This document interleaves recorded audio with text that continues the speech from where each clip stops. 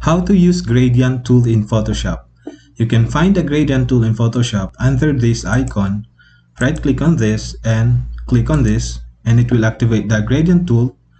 So gradient tool creates a, creates a gradual blend between colors. So let's say I'm going to activate this. As of now, we have this color. So I'm going to click on this, drag it. You can create a short line here or a bigger line the result will varies with that uh, result. So I'm going to activate this kind of of gradient which is linear gradient and I'm going to create create this line and it will create a linear gradient. And I'm if I'm going to click this radial gradient it will create a radial gradient. So I'm going to create a new layer and it will create this uh, radial gradient. So that's that what there are five types of gradient here. Under the gradient tool the linear gradient let me let me turn off this layer. It will create a linear gradient control z. If you hover like this it will create that opposite way or the other way here. So that's linear gradient. Radial gradient uh, radial gradient it will create a, a a radial shape of gradient. And for this one is ang angle gradient. It will create an angle gradient of this.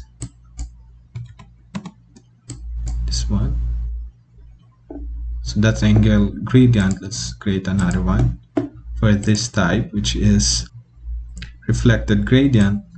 Reflected gradient it will reflect what the other gradient over here and it will reflect to the other side control Z.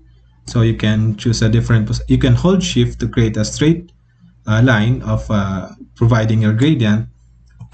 So you can do that. Also straight you can hold shift here. So that's how you create the or use the gradient tool in Photoshop. There's also another diamond gradient here. Depending on the color you, you choose so it will create that gradient on that color but you can choose over here a different kind of uh, gradient color. For a basic it will take your color of color over here. Let's say I'm going to choose orange. And it will create a gradient of that orange. Say let's create that uh, you can combine also different kind of uh, gradient uh, orientation. Let's say for this I, I have uh, a gradient of diamond gradient and uh, the linear gradient. You can also add the radial gradient here. So you can you can combine in a same layer. So I'm going to add an angular gradient. Or you can mix different color of gradient. Say green. We'll add here. So you can mixture the gradient colors. So let's turn this off and I will create new click on this to create new layer. So we will experiment with the gradient tool. You can also choose like a, a predefined gradient here like blue blue colors.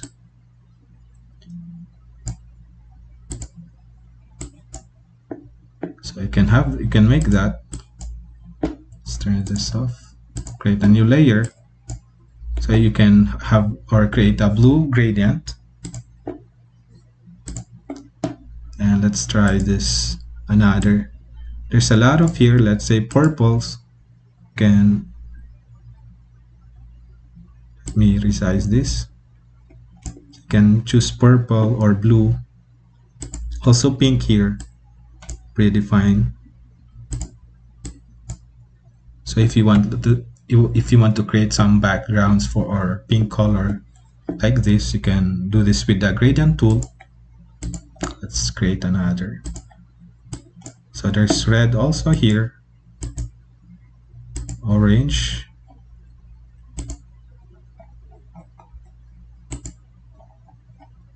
Cloud. There's a lot of here. So if you are editing the clouds and you want to add some gradient color on the clouds you can add this.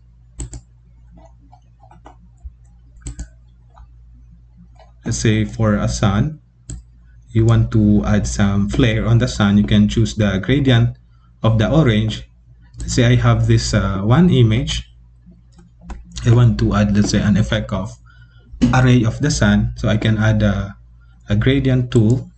I can use the gradient tool with the effect of the orange here. I will create new layer and start from this to down. It will create that orange color you can reduce the opacity so I'm going to reduce to 50 or let's say 10 so this is the before and the after. Also you can blend your gradient. When you click on this blending mode select the layer and choose the blending select the layer and click on the blending mode drop, drop down and choose the multiply and it will blend with that image and you can always adjust your opacity. Say I'm going to add this or make it 10 so this is the before and the after. You can also add different kind of colors. Say let's add green. And reduce its opacity let's say 10 so you can mix two colors or two gradient. So I'm going to group this make this uh, multiply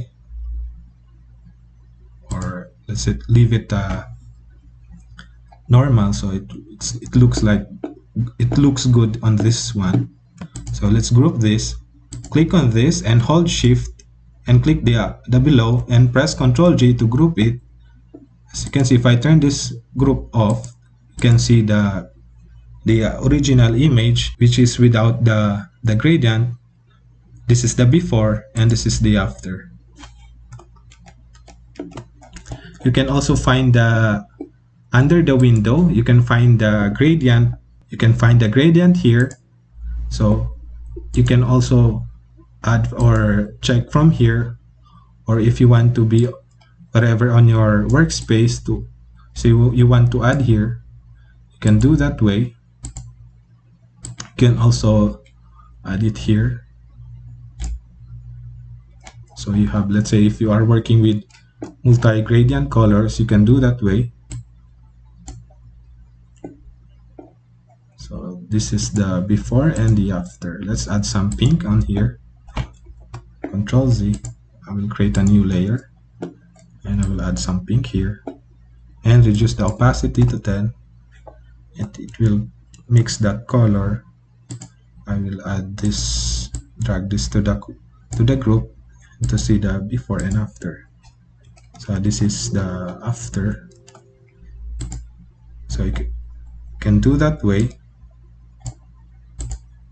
this is the before and the after. You can do that way. Also, you can adjust the opacity on the gradient tool. You can reverse the gradient tool.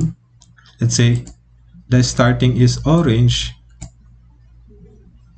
For this, let's say for the starting color is pink, you can reverse this and it will start to from the other color or reverse the color. So this is the somehow violet here. If I'm going to control Z and reverse this and it will create a reverse color. So that's gradient tool in Photoshop I hope this video tutorial helps you. And if you've gone through the tutorial and found difficulties don't forget to comment below so I can assist you. And don't forget to like and subscribe. Thank you for watching